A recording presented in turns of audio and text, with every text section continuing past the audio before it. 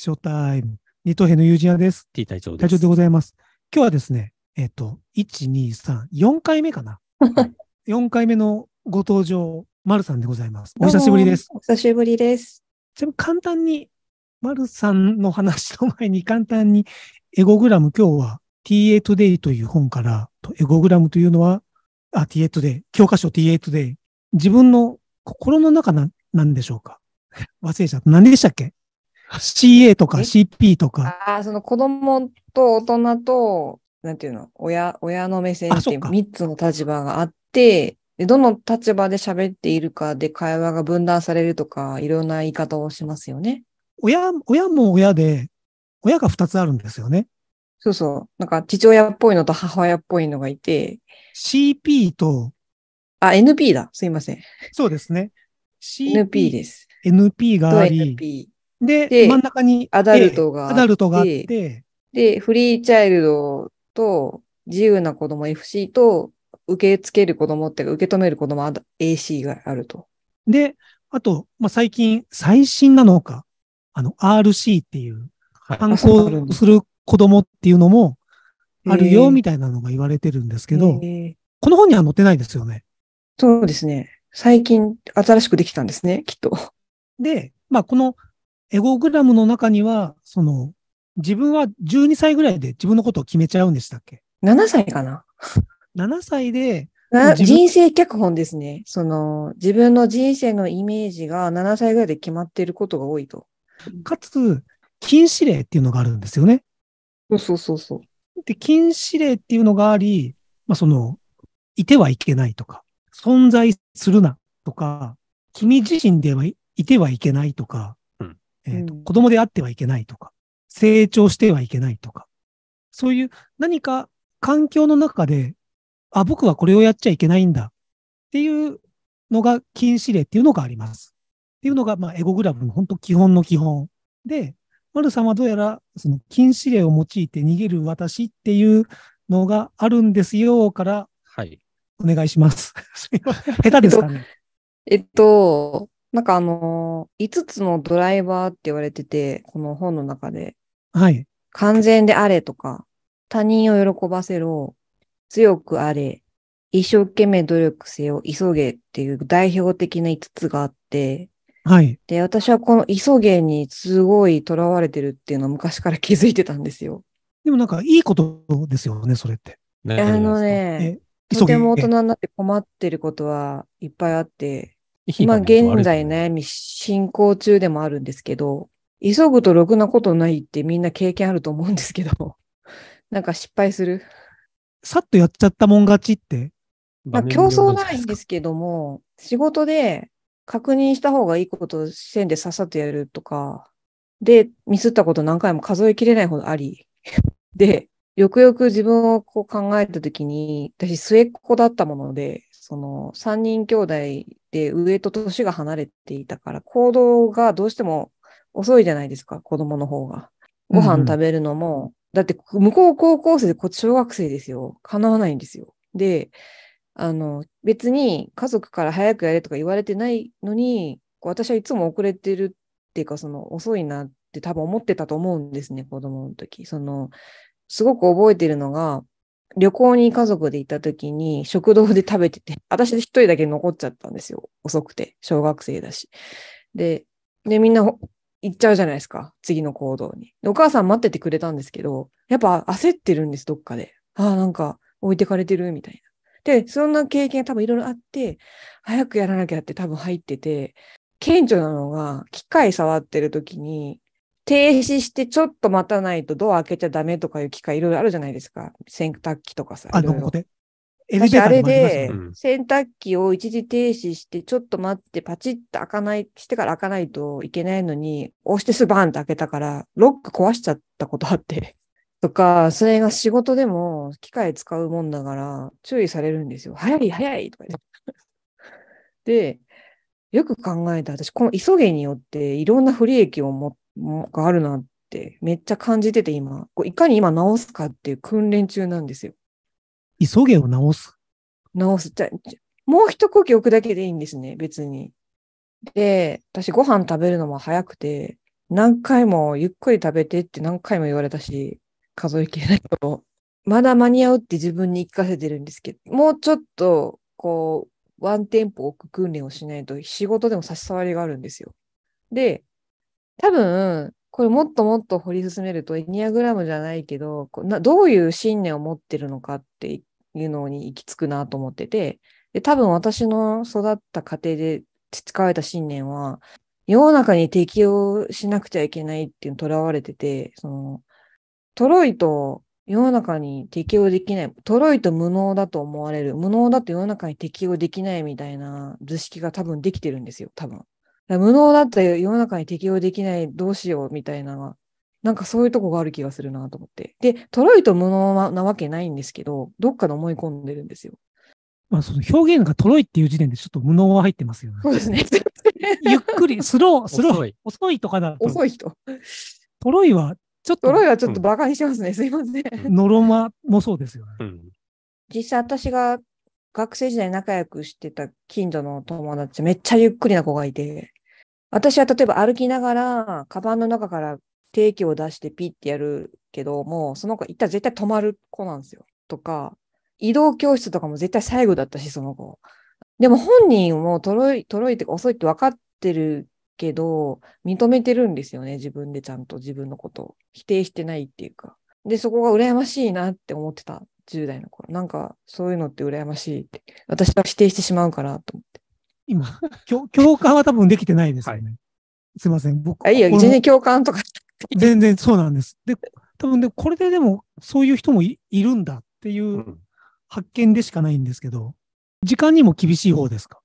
あの、守ろうとすごい努力します。で、人にガミガミ言わないんですけど、あ圧はかける。その状況によります。なんか、背筋が伸びますね。全然そのほら、えっと、友達と遊びに行くぐらいなら全然いいんですけど、その、飛行機乗るとか、絶対時間間に合わないと危ないみたいな時は、せっつきますよね。まだかって。悩悩みの種類がはい。人って違うんですよね。そうですね。うん。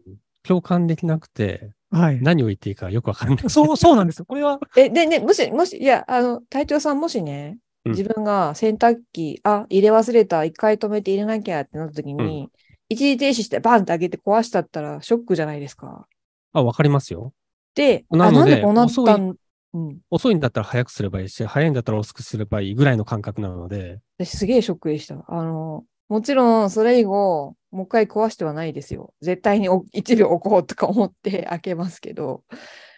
でもこの間、職場でもやらかしたなと思ったのが、一時停止して、カパってこう開ける、機械を開けるときにめっちゃ早かったみたいで、もう早いとか言って止められて、壊れちゃう、壊れちゃうよ、みたいな。みたいな場面があった。で、それって何が困るかっていうと、はい。壊すのもあかんけども、その、信用なくすんですね、人の。この人なんか壊しそうみたいなとか、なんか頼んだら落としそうみたいな。そういう損の歴史がある。そう、損の歴史をめっちゃ感じ、今も、今もなんか課題で、そう思わせて損をやめたいって思ってます。なんか悩みの種類が、なんか僕の中では、俺ってなんだなんですけど、そういう悩みではないんですよね。俺ってなんだも考えたことないですもんね。急ぐのは、その、なんて言うんでしょう。あ、ちょっと壊しちゃったね。うん。テヘペロで。それをもえっと、学生の時は全然気にしてなかったんですけど、そういうとこあるなぐらいで。でも社会人になって注意をしこたまされたり、損を感じる場面が増えると、あ、これはちょっと改善しなくちゃって思うようになったんですね。それを、う、まあ、要は、テヘペロレベルならいいかもしれないけど、そうそうそう。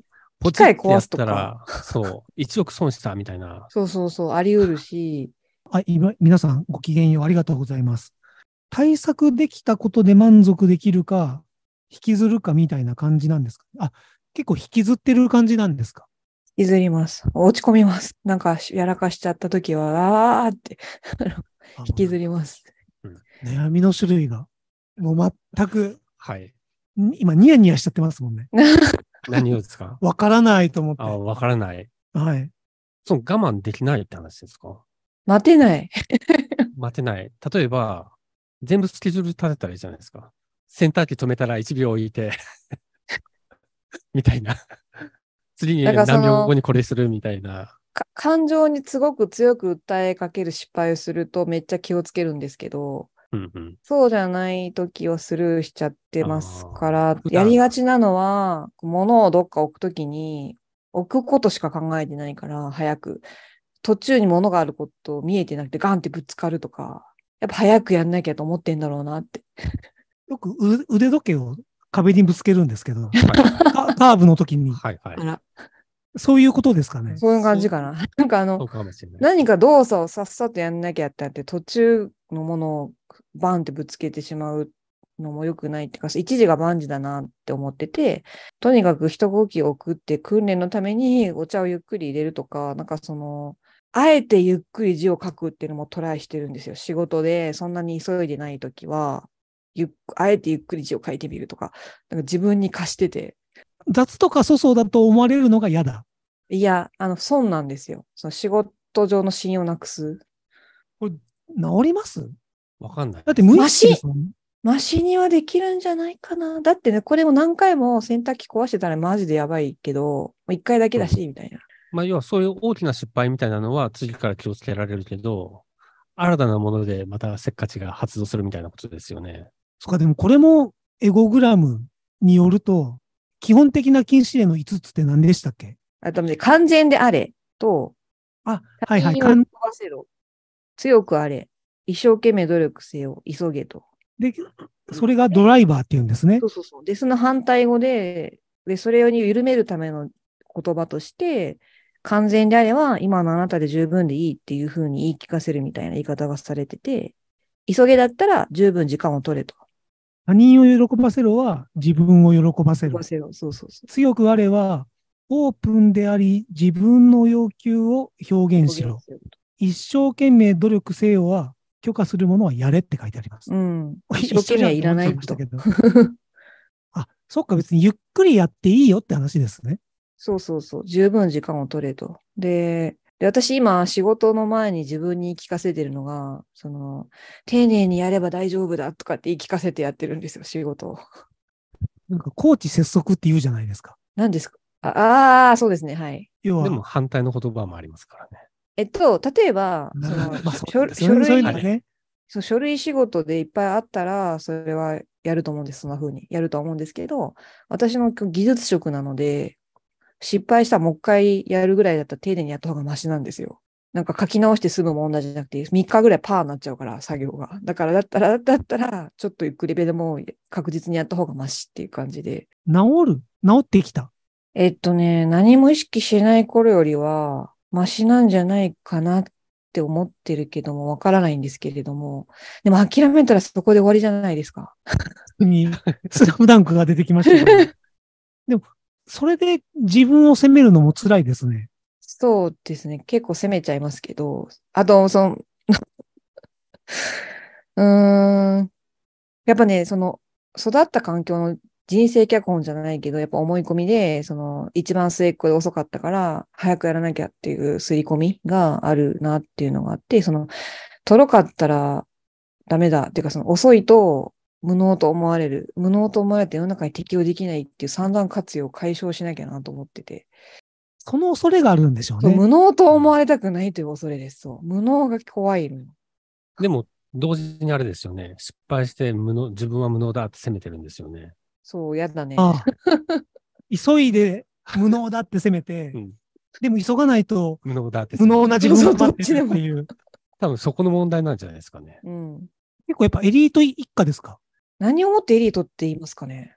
まあ、ニュアンス。汲み取っていただけると、なんか、そう、そう、多分父親は意識が高くて、その、はい海外の要人とも、こう、接触するような仕事でしたし、要人はもう海外のし国家元首レベルです。で あ、えで、で、父、おに、兄は、まあまあ大きな会社の技術者だったし、お姉さんは海外でデザイナーとかしてて、なんか意識が高いんですよね、なんかね。で、母親もそれなりの母親で、なんか意識が高くて、どんな状況でもめっちゃ字が綺麗なんですよ。乱雑に書かない。あのきちっとしてるね、とにかく母親はものすごく。そのプレッシャーきついですね。多いんですよ。ほ んで、あ、で、私は、そう思い出した。あの、突っ込まれるのが大っ嫌いだから、あの、いい子だったんですけど、例えば子供だって遊んだら汚すことあるじゃないですか、服とか。で、はい。私、袖口、あ、汚れたと思った。袖口、石鹸で学校で洗って汚れ落としてから帰ったんですよ。でも、洗濯機で汚れなんか落ちるのよ。なのに、そあ、汚したのねって突っ込まれたくない、みたいな。怒られるから。怒られないだろうけど、気づかれたくない、注意されたくないっていうか、なんか、多分そこも、なんかダメな子って思われたくないっていうのが強かった。なんかこの、せっかちなのがダメなんじゃなくて、そこなんじゃないですか？そこかなダメなこと思われたくないっていうのが強い。ダメだって思われたくないみたいな無能と思われたくい。ないみたいと無無能な僕が聞いてるんですけど。な。変な話、その中中学出るまでは、テスト毎回親に見せ、母親がにテスト見せろって言われて見せるじゃないですか。高校から何も言われなくなったんですけど、まあ、点が良くないといい顔されないわけですよ。で、ある時、ちょっと60点台が続いて、ちょっとこれ言ったらなんか突っ込まれるなと思って、2日ぐらい悩んでその時ね、中1でしたけど、自殺を考えましたからね。頭いいとこ、頭いいとこで大変なんですねやばい。頭良くないんですよ。別に偏差値的にはそこ普通だったんですよ。えでもなんかそういう環境って、まあ僕みたいにね、頭悪い家族も大変ですけど、でも、この性格なんじゃないですか？だからダメだって思われたら嫌だっていう性格。でも、を作ってる環境ってことですよね。まあ、で、それをうんそう思い込んでるそう。ちの姉は、その学業は全然点取れないけど、芸術方面でひこう頑張る、秀でてたというか。だから、また分野が違ってて、兄は偏差値高く取れるタイプで、みたいな。私はそのハイブリッドって感じだったんですよ。その偏差値ほどほどで、か得意科目は点いいけど、他は普通で、で、芸術分野もまあまあまあ、みたいな、なんかハイブリッドみたいな感じで、なんか何もかも中途半端だったんですけど。姉は学業はダメだけど、芸術面で秀でて、そっちで伸びていって、海外まで行くみたいになってたんですけど、それもやっぱめっちゃ勉強、努力してたというか。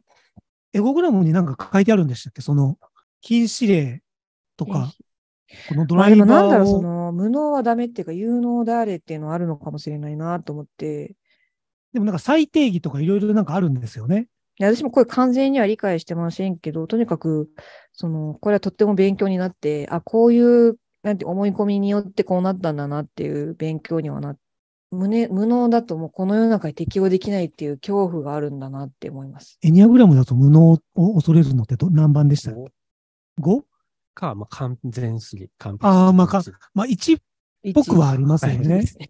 1です。ね。すいません。すいません。1で、1と2が同じぐらいの点でしたけど、1の、1が9点なら2は8点ぐらいの点の高さでした。なんか、1と2ってなんかきついですね。拮抗してる。で、ごめんなさい。違うんです。だからその、どのタイプにもとらわれってあるとは思うんですけども、私はこれによって必要以上の苦しみを持っているなと思っていて、どう和らげたらいいですか？老子じゃないですか。どうぞ、ど老子の、どこ、どこ今、どこ、まあ、だから、老子って、いいも悪いもないって話じゃないですか。うんいいも悪いもないです。善も悪もない。全部。名前が悪いって言ってましたね。うん名前をつけるから悪いんだって言ってましたね。みたいな話じゃないですか。あれ難しいですからね。あ、無能でも、無能なんてものはないですよね。あ、無能なんても、ん無能でもいいじゃなくて、っていうのは、あなたが無能って考えてるだけですよっていう話じゃないですか。老子的には。確かに。はい。だから変な話、その子供だったら自分の意見とか感情表現を素直にできたらいいんですけど、例えば習い事をピアノを習ってたんですけど、やめたくてもやめたいって言えなかったんですよ。ずーっと。ここでも出たんですよ。あの、信用をなくしてしまうんじゃないかと。中途半端にやめたら、この何をやらせてもなんか続かないよねって思われたらダメだって思って、すごい苦痛なのに長いことをやってたっていう。だ素直にこピアノしんどいんだよね、やめ、嫌なんだよねって会話ができなかったんですよ。無能が嫌だっていう、無能の基準があるっていうこと？かな？なんか、えっ、と、まあ、自分の中で。自途中分の中でで、途中で中途半端にやめることは無能っていうのもあったと思います。その、継続力がない人はダメみたいな。で、今でも多分、無能になりたくないっていうのがあって、うんってことは多分、ああいう風になりたくないみたいなのがあるんですかね。わかんないですけど。どこを見て無能って言ってるんだろうとか。はいはい。本当老老子の世界ですね。うん。有能っていうのを作って、えっと、なんかあまり考えてない人って無能だと思ってるかもしれない。今打たれましたけどね、かもしれない。かもしれない。ズキューンってきましたけど、え、なんか映画とか見てても、何も考えてないだろ、このカット割りとか思うと、あ、無能だなって思わず口走ってるみたいな。ガンダムの考えがね感じられないようなものを見ると言いたくなるんですよ。だから、例えば下手くそでも考えたんだなってわかる創作物には、けなす気は起こらない。映画でも技術下手でも考えたなってわかる映画もあるし、でも、芸術って刹那ですよね。うん、考えを否定するんですよないよ。バカじゃないとか思う時がある。本当にその辺自分の偏見なんですけど。だってやっぱり全部自分ですよね、多分。まあそうそうそう。ですよ。あ僕今もう無能側から言わせてもらいますけど、いや、無能ではないですよ。だってちゃんとね、会社勤めして家族を養ってる点で無能ではない。考えてないですよ。でもその辺は無能ではない。あちゃんと働いてる人は無能とは思ってない、全然。でも、働いてますし、はい。が誰よりも多分頑張ってるでしょうしそのことととんでもない失敗をやらかしてるのよ。で、仕無能事でに対、する恐怖ですよ。あ無能であるかどうかではなく。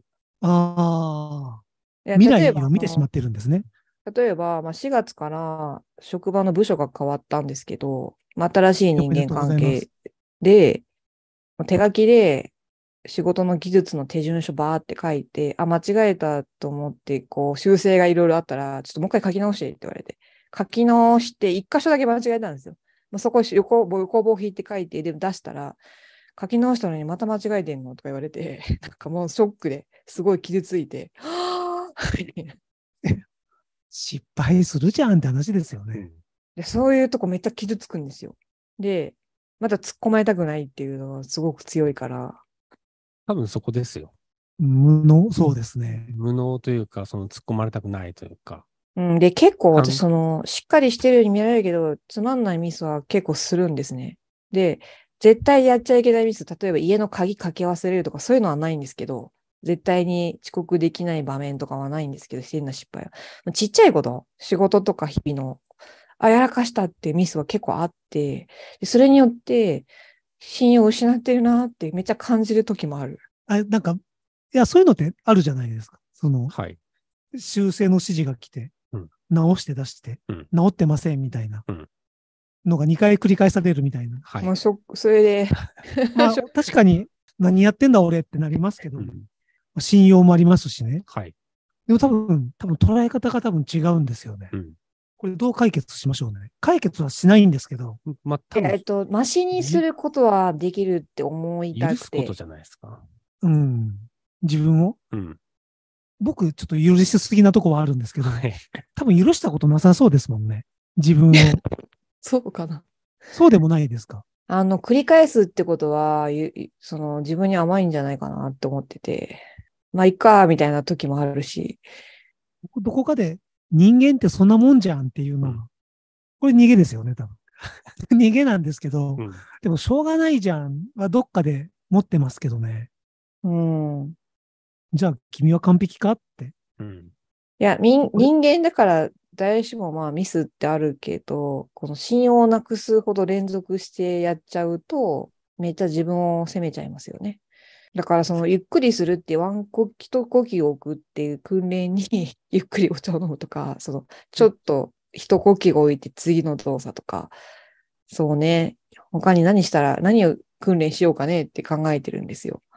せっかちな原因が多分無能にあるんで、そうそうそう。そこを恐れないことの方が多分重要なんじゃないかな。無能を恐れない。どうやったらいいの？どうやったらいいの？無能なんてないですよ。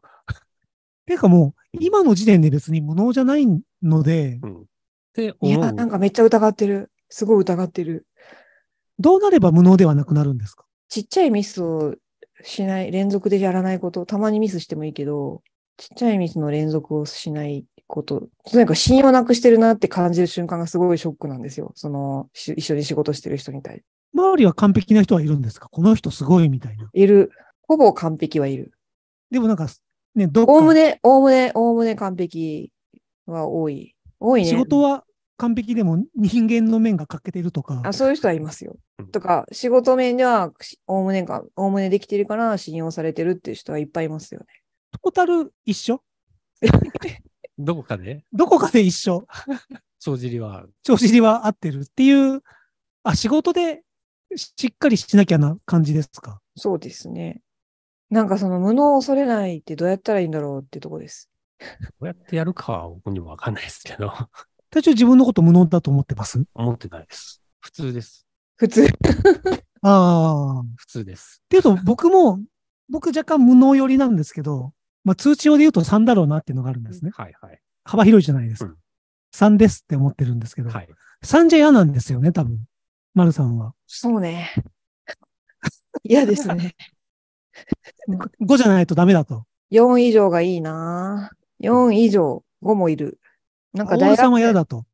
3は嫌。大学生の時に、レポートとか、まあ、理系の学部なんで、レポートとか書くんですけど、絶対に A のさらに上と、プラス A が欲しいとか思って、海洋実習、海の実習行った時に、魚の絵を点描とかで細かく描いて、80枚ぐらいになったんですよ、レポートが。それはめっちゃ丸もらいましたね。てか、それどうでもいいとこ頑張る。絶対に A の上欲しいみたいな。あんまり僕気にしないですもんね、無能とか。だそこで、例えば単位なんて取れたらいいんだよって思うだろう人もいるけど、私はそうじゃなくて、絶対に U を、8割以上は絶対 U を取って卒業するぞみたいな。まあ、そこですよね。違う、なんかね、はいあの、全く関係ない話だったらはいすいません。昨日、INFJ ですっていうはい。女の子と喋っていて、違ったらごめんなさいねうん。あの、その子は、なんか、自分の中のニーズが人のためにだったんですね。で、も、満足はいを。決めるのはうん自分だったんですようん。自分軸うん。で、僕の場合、自分のためなんですね。はい。やることってうん。でも、評価はうん結構他人軸なんです。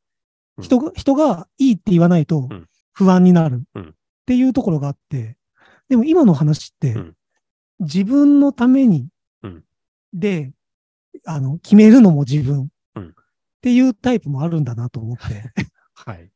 だからなんだと考えてませんでした。もう無能が出ましたねそ。れを話したかったんですよね。そう。で、うんいや、僕は、その、昨日話した時点では、はい僕外交、うん彼女が内交、うんだったから、あ、外交がこんな感じで、うん内交はこんな感じなんだうん。っていう捉え方をしたんですね。うんで、今日話を聞くと、やり、自分がやりたいことはやりだす、やるだし、うん評価も、あ、でも、5が取りたいっていうのは他人の評価ってこと ?5 って言わせたいみたいな。5とうん、そういう見られたい。とこあるかも。見られたい？俺のことを認めろ？っあーなんかあるかも。あるかも。ていう、僕多分現実主義なんで、稼げるかどうかですわ。それしか言ってないですけど、はい無能でも稼げたらいいじゃん。でも多分そういうのじゃないですもんね。そういうのじゃなさそうですよね。でも、なんか、苦苦しそうですね。うん。なんだろう、その、すごい根強いんだなってしみじみ感じました。その、自分基準ですけど、自分が思う無能っていう基準のものに近くなったらダメみたいな。なんかだって、3がダメなんですもん。3はダメですね。不能じゃないですよ。普通がダメって言ってますもん3はダメです。3はダメです。平平均ですよね、3って。3 3はダメです。4以上取らないと。人より上にいたいじゃないですか。あ、エリート思考だ。かといってば、もうなんか、その自分が、こう、変なミスするときって、自分の父親を思い出すんですけど、私の父親今思うと発達障害じゃないかっていう変なミスする人だったんですよ。例えば、海外の仕事多かったですけど、一眼レフの高いカメラを何回も置き忘れてくるんですよ、海外に。ああ。なん、か、え？っていう。その財布とかじゃないんで、ちっちゃいものならわかるけど、で、あんなでかいもの置いてくるみたいな。とか、例えば、まあ、年を取って毎日薬を飲まなきゃいけないってなった時に、ピルケースに薬入れるじゃないですか。はい、毎回を食べ、飲む前に落としてた、ポロって。あなんか、わかる、私も落とす、みたいな。持ってたものを落とすって不注意なんですよ。一個しか集中できない。わかる？みたいな。だからその半分ついてるなーって感覚はあって、でも私、その忘れ物が多いとか全然ないですけど、3はいいにしません？まあ、3がいいにできれば、多分悩んでないんですそうね。そう、3OK だったら悩まないかもね。?4 以上取りたいってうん、なんていうの？あ、4以上取りたいって思いはまあいいとして。あ、じゃあ、そう、誰のためになんだろうと思って。え、自分、自分の満足？もあるし、多分無意識ですけど、人からも認められたいのかもしれないなと思います。でも、う上には上いますもんね。そうですね。エリート、エリートを目指すと。キリがない。あ、それはお金に直結してる。要は、なんか、稼げば、稼ぐためにはできなきゃいけないっていう、お金が目的じゃないんですもんね。じゃないですね。なんかやっぱ承認なんだと思う。それはやっぱ親の承認なんだろうなと思うんですよ。その、無能は認められないみたいな雰囲気があったかもしれない。いでも今もうその、親御さんっていらっしゃるんでしたっけ？やもう亡くなったんですけど、亡くなってもなお残ってるなと思った。じゃあ、誰、誰に、誰に？誰に認めてもらいましょうねと思った。そう、だから、亡き、亡き親に対してに無意識にやってんのかなみたいな。じゃああれじゃないですか？アドラーじゃないですか？承認欲求を手放せじゃないですか？いや、それが簡単にできたらいいけどね。もう老子もそうですよ、そんなの。いや、でも、うん。自分探しもゴールないですけど、はい。ないですよ。でもだから多分みんな手放せって言ってるんですよ。そうで、19図では、多分どこかで折り合いをつけるんだろうなって思うんですけど、は折り合い、どこで折り合いつけましょうと。丸さんの中で。一呼吸をとにかく置く訓練、置くのが身についたら、一呼吸、ちょっと折り合いつけたことになるかな？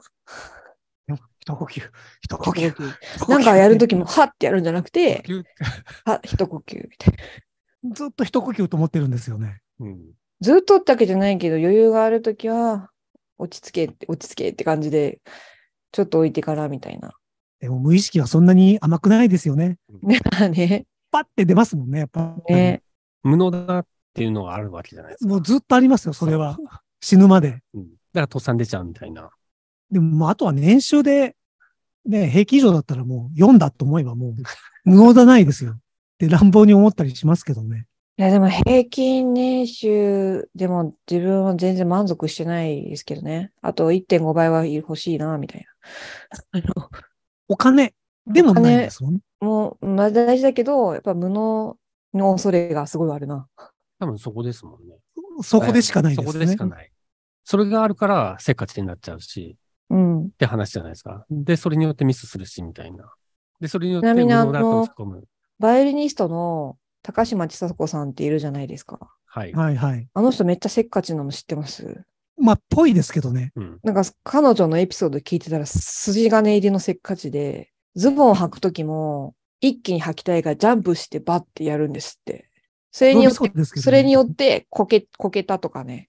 あと、曲がり角曲がろうとした思ったより早く曲がってガンってぶつかったとか、そういう話がてんこ盛りで、ものすごいせっせっかちというか、脅迫観念的なせっかちさでしたけど、すっごいなと思って。でも、あの、あの方はあの方ですよね。はいあの人は、まあ、自分で認めてるっぽいから、でもやっぱり旦那さんにとぶつかって反省することもあるみたいですよ。そう。で、そういうなんかうん、ブレーキ機能がついてるじゃないですうか。ん。ご家族とか。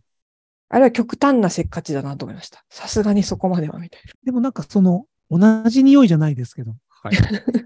その、厳しさはちょっと感じますよね。な。厳しさ。うん厳しいかなうん？どの辺が？私は、あ私は厳しさを感じてますよ。どの辺が？通知を2と3の男としては。あ一番初めのエピソードとして、はい。私はうん30分前に話をしたいんだと。うん。リハ、リハーサルじゃないですけど、うん結構きちっと初めにうん線を引かれたんですよね。うん一番初めのライブの時に。うんあ。うん。通常、これまで我々のライブに出る時って、あいつも10分ぐらい前に連絡しますんで、うんてへーって感じでうん やってたのが、うんあの、私はこの時間にやりたいんで、この時間に連絡をくださいと。うんで、ここにっていうのがバッて来た時にうん、で、こういうことを喋りますって、レジュメがバッて来た時に、うんやばいと。あ、こちらはその体制ではない。そっか。っていうのが、やっぱりこの、丸さんと喋るよっていう時は、うんピリッとせねばがあ、そっか。あるんです最初そんな印象与えちゃったんだ。で、ピリッとせねばがあると、もう普段の僕じゃないので、うん。ちょっとあたふたする。あたふたする。はい。でもう、すぐやりましょう、すぐやりましょうって、っはい。てなっちゃうんですよね。なんかすいません。プレッシャー与えてたらごめんなさい。で、これは多分、IQ が違うと、はい。話が通じないとかってあるじゃないですか。コミュニケーションが通じないよって。はいああいうのもあるなと思うんですよ。うん。そういうのは僕のコン、今度は僕のコンプレックスの話になっちゃうんですけど、申し訳ないなとは思います。何の話だ？無能の恐れ、無能の恐れをいかにして緩めるか。で、あ、僕はそういううん高島千佐子さんと同じ空気を感じますよって話をしてるうん、そうね。その、強脅迫観念的なせっかちさというか。同じテンポだといいんでしょうけど、そういう風ばっかじゃないですもんね。そうですね。これはどうしましょうね。ずっと付き合っていくんでしょうね。多分そまあ、ちょ、うです。ちょっと緩める、緩めることはできるはずって思いたい。その、諦めないぞと思っていて、あの、ここあれですよね。タイプ1の完全であろうとするとこだよねと思うんですよ。その、ここが良くないから直そうみたいな。あの、完全を否定するしかないんじゃないですか。そう、完全を否定する。ああうんあれ、1の方向は？1は完全でありたいんですよ。どこに行く、行けばいいんでしたっけ ?1 って4でしたっけ？1は7に行きたい。行ったらいい。7に行くんだ。楽しさを、楽しさを優先している人々っていうか。7じゃないもん。なるほど。多分そのね、完全でありたい理由は、完全であれば突っ込まれないっていうのがどっかにある。とにかく突っ込まれたくないし、指摘されたくないんだなってところ。じゃあ突っ込まれるのがなぜ嫌かっていうと、無無能だと思われたくないみたいな。やっぱそこだよね。無能を無能の恐れがものすごく強い。新しいことやる、やるんでしたっけ？タイプ7って。タイプ7はいろんなことじゃないいろんなこと、何も好奇心旺盛ですよね、7の人。今なんか新しいことってやってらっしゃいます？いや、自分ができないことですもんね。新しいことって。やったことないこと。やったことないこと。やったことないことで興味があるのは、タップダンスあ、そう、なんか、やってみ、興味がある。上手くなりそうなんか。いや、やって。と、サックスとタップダンスと詩吟はやったことないけど興味があるんですよ。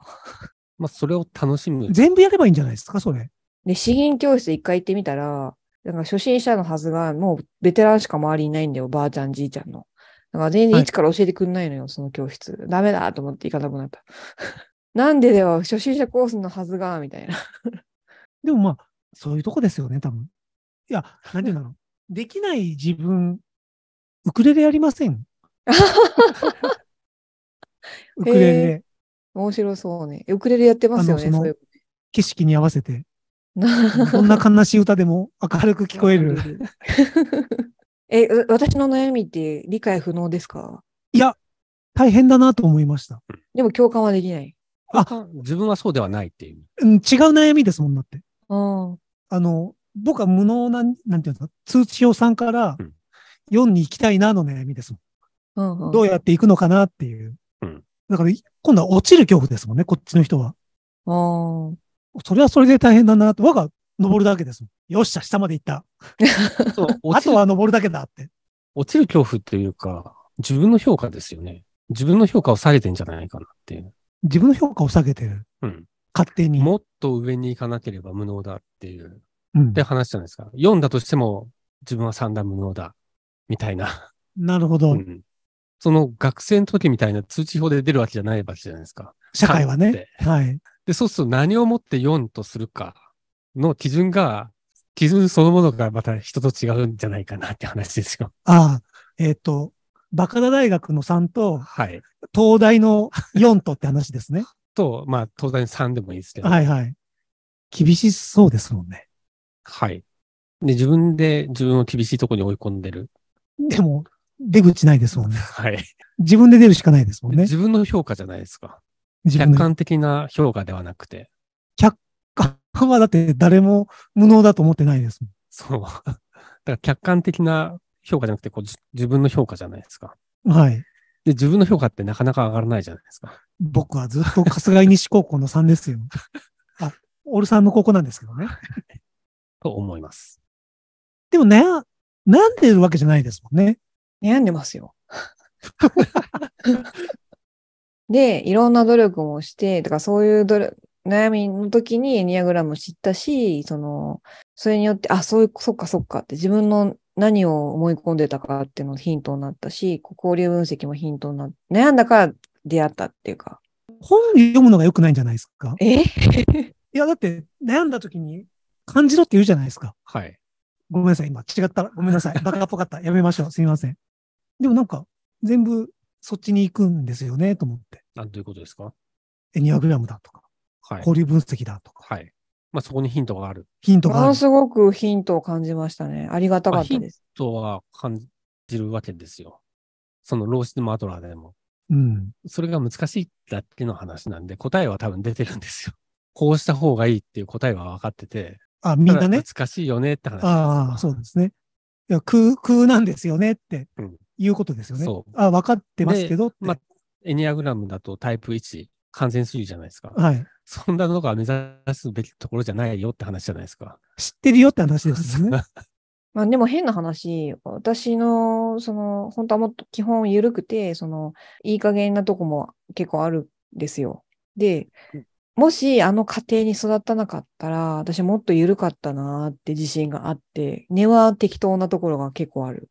で、ビシバシと鍛えられたせいで、あ、ちゃんとしなきゃみたいな、目覚めたというか。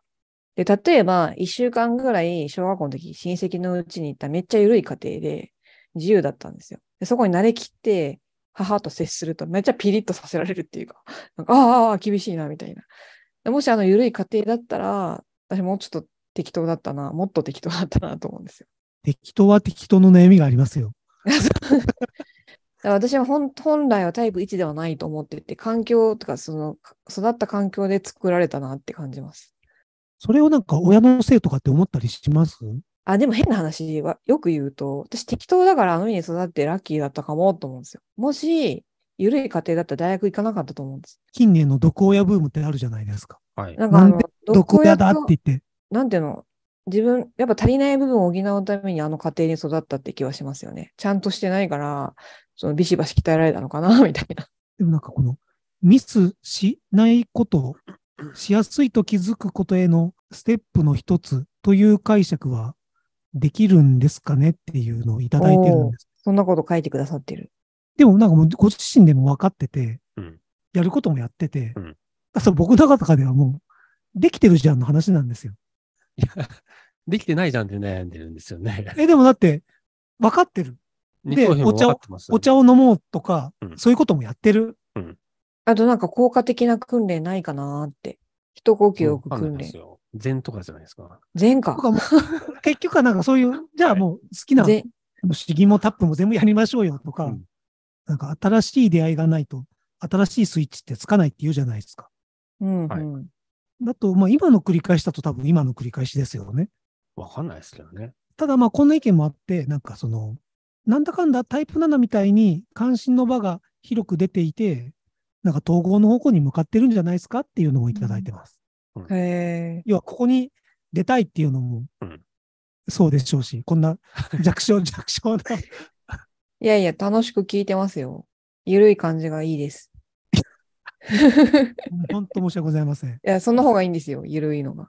あ、なんかね、その私、まあ今の仕事4月に部署変わったんですけど、その変わる前は10年同じ上司と一緒に仕事してて、はい。10年一緒にいた人にね、最後に何て言われたかっていうと、あれさ、せっかちなのがいかん。って言ったんですよ、最後に。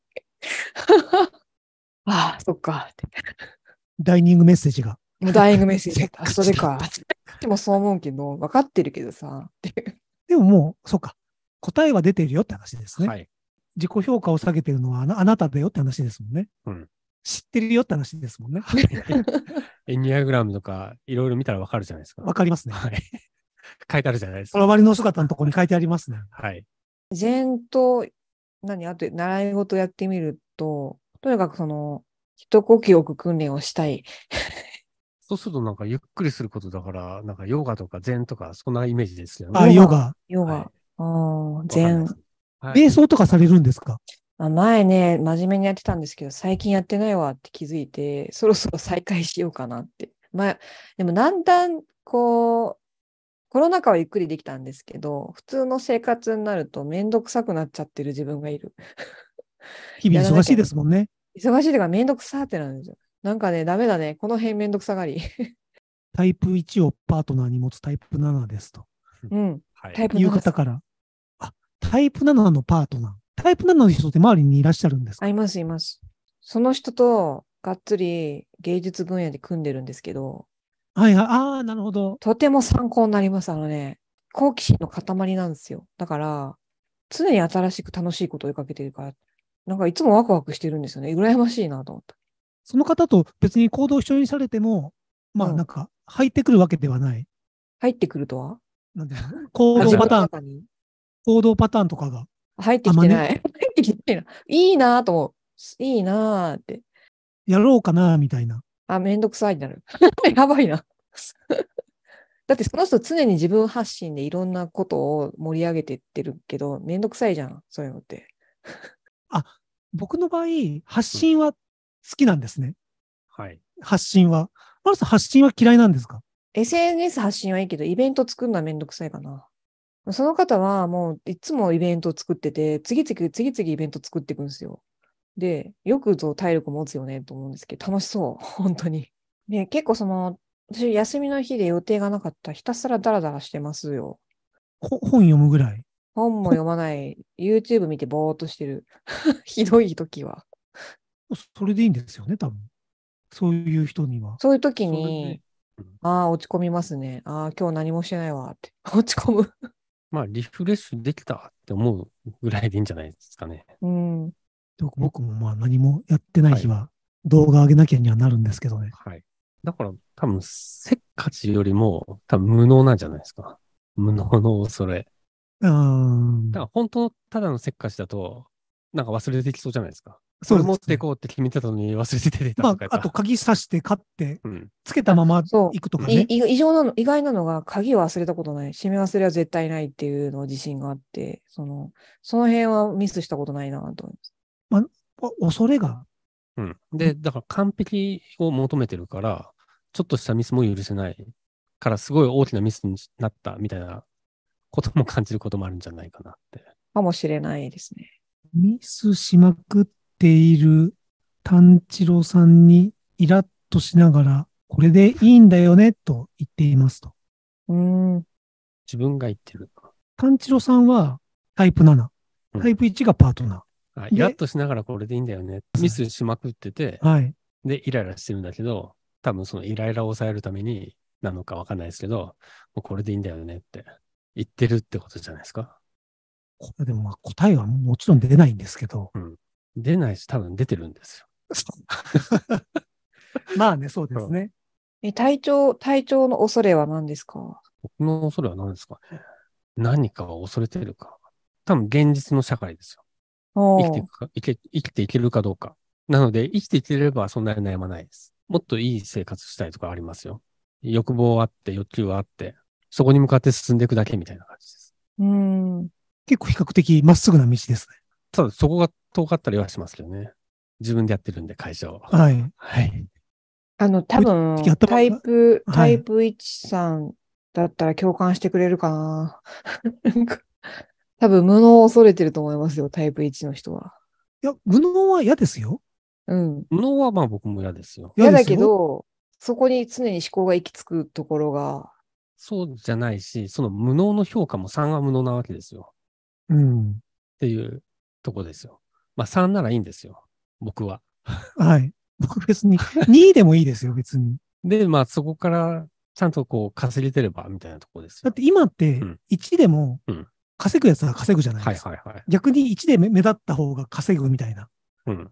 世界もあるじゃないですか。はいはい。頭がいいやつがみんなね、うん稼いでるかっていうとそうでもないし。って考えるとなんか、無能よりも、なんかその、突っ込んがってない、ひ、なんていうんだろう、引いててない、はい。どこかに引いててないっていう方が怖いなとは思うんですね。うん。それは稼げないからの話。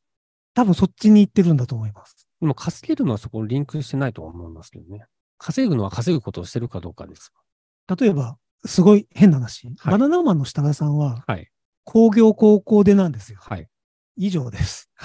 なんていうんだろう。で、別にでも東大出た人がじゃあみんな稼いでるかってそうでもない。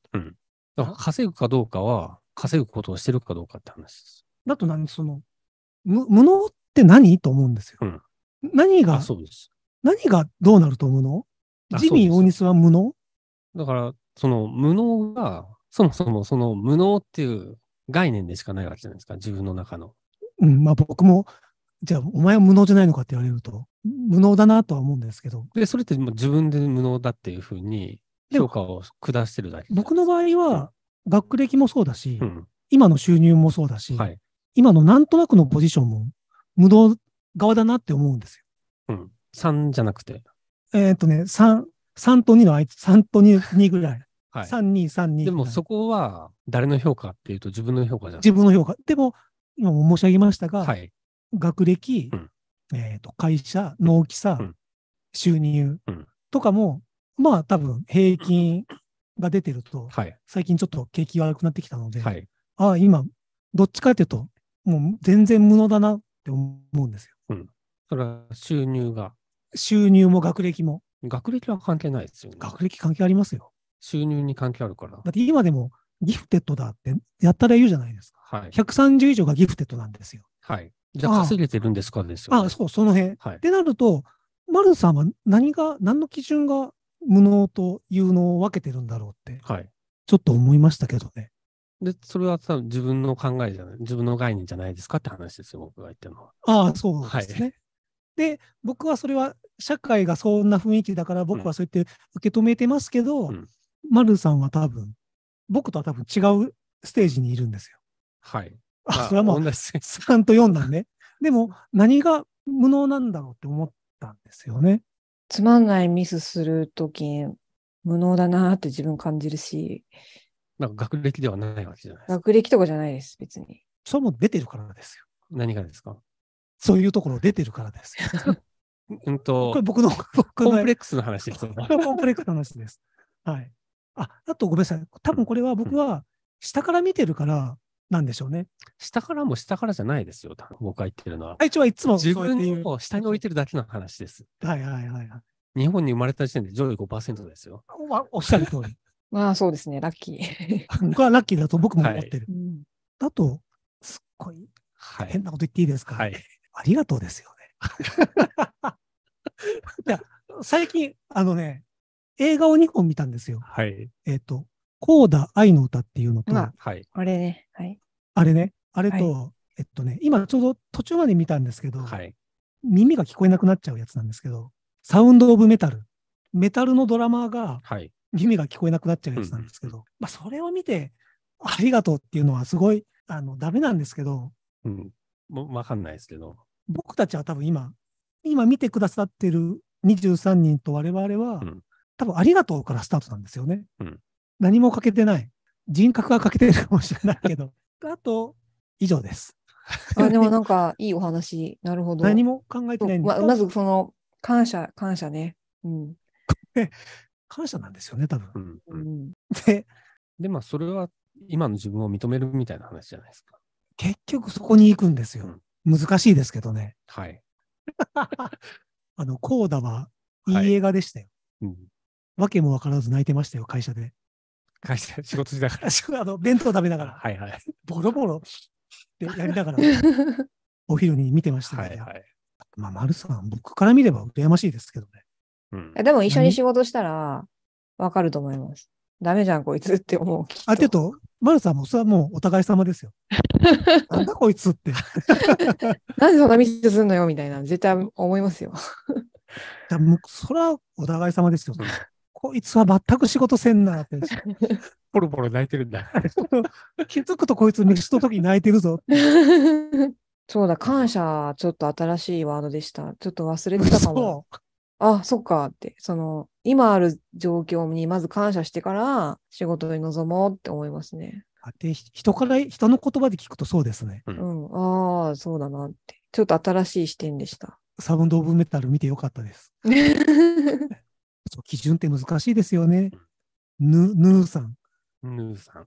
あで、全部決めてるのが基準ですもんね。うんで、多分、丸さん、丸さんなりの3があるんですもんね。3があって、4があって、うんその4を目指してるんですもんね。僕からしたらもう、それはも3が5かもしれない。う、もう、そう、そのか、その感じですよ。はい。はい。そりゃ大変だ。もう、バカな男を捕まえるしかないですね。いやいやいやいどういうや。ことですか？いや、で、付き合うと、はいあ許せるようになあ、る。許せるようになる。心が広く。要は、その、前もちょっと話しましたけど、うん。禅の僧がね、はい。お寺に行って、うん一番や、初めにやらされるのは、うん掃除だと。うんそれは何かっていうと、もう掃除をさせられるとうん、雑念が消えるんですよ。掃除をするから。うん。綺バ麗にする。そう、バカな男を捕まえると、うんバカな男の世話をするじゃないですか。忘れるんですよ。掃除みたいな。掃除みたいなあ。それすると、共依存になっちゃうんですよ。あ、出た。ダメなのよ。ダメなのよ、共依存は。もう大変な目にあったから。えっと普通に掃除しましょそそれか、じゃあ、超、超、あ、掃除をするか、本当に掃除をするか、うん超エリートを捕まえるか。そうね。できる。私よりもできる。で、お前バカだなって言ってもらえる。う。そうすると落ち込みますよ。完璧じゃないんだ。人って難しいですね、なんか。はで、多分、丸さんの悩みは僕わかんないですし、うん隊長が言ってることは、言ってることはわかりますよ。はい。だからできんのじゃいの気持ちですよね。わかりますよ。僕も同じ気持ちですから。ああ、なるほど。わかり合えないですね、人って。分かり合えない？わかり合えないなーっていうはい握手です。あ、だからまあ共感はできなくても、認識はするっていう感じでいいと思います。ああ、そううん。理解はできる。そうそう。ね共感しなくていいから理解するっていう認識っていうか。っていう、丸さんの中に、なんかまあ僕みたいな子がはい。いて、うん。許してあげればね、うん 許してあげられればですけどね。まあ、上を目指すのは悪いことではないですからね。うん。できなかった時にちょっと許すはいはいはいはい。ぐらいじゃないですか。新しいクリエイティブにはいかないんですか？そう、そろそろやんないとね。そうだで。多分それもそういう、そっちの忙しい、忙しくすれば、うん。うん。そう、お掃除ですよね、それって。お掃除です。それは、ねそれのことをずっと考えるみたいもう お掃除のことだけを考えて。無能っていうことは吹っ飛ぶかな？うんな。まあ、そうかもしれない。人は暇だから悩むって言いますもんね。そうね。暇だから悩むってあるかもしれない。その悩む暇もないぐらい忙しい時期はあった。うん。すいません。ありがとうございました。なんか、感謝っていうワードと、新しいことするっていうのは、と新しいことするっていうのは、あ、そっかと思って、ちょっとヒントをいただきました。う、でも、新しいことするってタイプ1にとっては、いいことじゃないですか。7の方向に近いうでーすよね。ん、まあ、そうですね楽。しむと。あるさん楽しめますかね？でもまあ、エニアグラム的には楽しめって言ってますよね。一の人はもっと楽しみましょうですよね。そうね。何、何が楽しいですか？クリエイティブ。ああ、そうね。やっぱクリエイティブなこと例えば料理も家事の中で一番クリエイティブだから、絶対料理するし、一人暮らしなのに料理を欠かさないし、なんかクリエイティブなことやっぱ日常の中でもしたがる。いいチャンネルですね。はい。もう、なんか、多分今日僕落ち込むんですよ。なんでよ。よかったのかなーって。これでよかったかこれでよかったかって。十分ですよ。なんかあの、すごい、全くの第三者の観点って大事なので助かります。メンさんのコメントが面白くて。感謝、新しいこと。クリエイティブ。ヒップホップかと。マジ感謝。マジか。マジ感謝。マザーに。はい。はい。もう、俺たちみんなファミリーなんで。ビッグツリーの下で。はい。はい。そんな、そんな感じではい。ありがとうございましたあり。がとうございました。